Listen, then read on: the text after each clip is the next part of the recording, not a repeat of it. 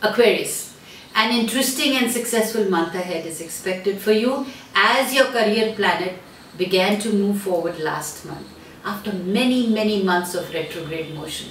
Finally, there is a clear career direction now. Venus has been in your 10th house since September 23rd and will be there until the 18th. This shows the success of family members. The status of the family enhances. You will have good family support for whichever career you want to pursue.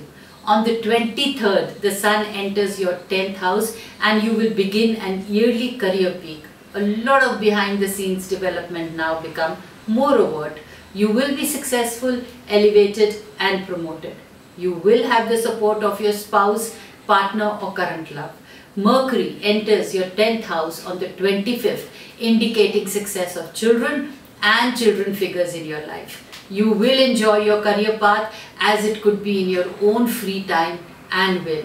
Until the 23rd, your 9th house is very strong, so indicates a happy period. There could be opportunities for travel and enhancing your education. This is a very good and encouraging period for children or college going students. There could be romance this month and some of you out there could consider marriage. A strong ninth house brings pleasure in higher learning.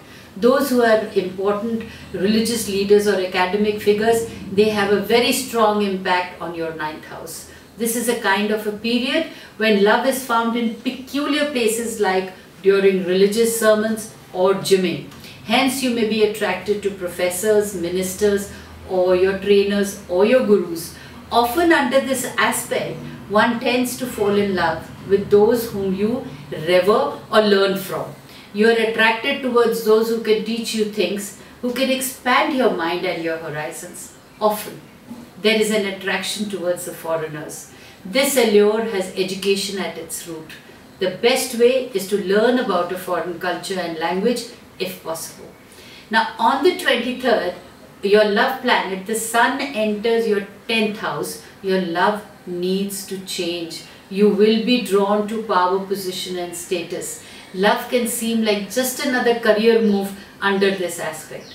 Often there is romance with bosses or other superiors. You will like those who can help you in your career. Health needs watching from the 23rd onwards. Just care in diet and exercise and remaining disciplined in habits will be rewarding. So my advice to you here is be discriminative and discretion is the better part of valor. Thank you. For your best days, your stressful days, your honey days, your money days and your career days, please get into my website and get those important dates. And remember, don't forget to subscribe to my YouTubes because I am going to be following it up with some interesting things and important tips of how to know about yourself which will be important to you for your life.